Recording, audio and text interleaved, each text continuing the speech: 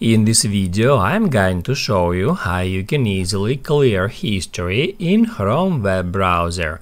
Be sure to watch the video to the very end so you don't make any mistakes and of course do not forget to like this video and subscribe to my channel. Thanks guys! So let's get started. And first off click at these three dots at the top right corner of the screen.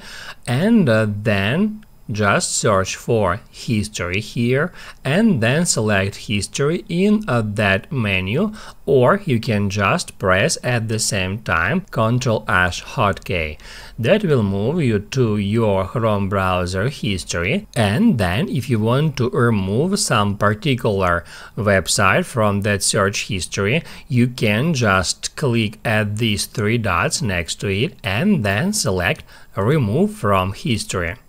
Also, you can remove multiple search results at the same time, just uh, checkmark them and then towards the top of the screen hit at delete and uh, then click at remove to confirm the deletion.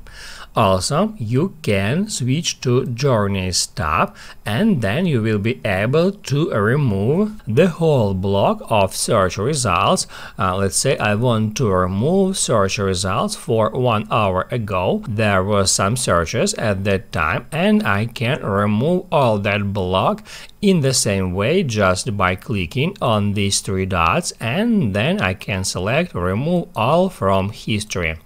Just like that. Also, there is one more cool feature. You can go to Clear Browsing Data at the left menu and that will give you an option to remove all your browsing history, cookies and cached images and files in one click. All you have to do is just uh, select the time range. By default, the last 24 hours are selected, but you can select last hour, last uh, 7 days, last 4 weeks or all time. Also, you can checkmark or uncheckmark deleting of uh, browsing history, cookies and other site data, and cached images and files.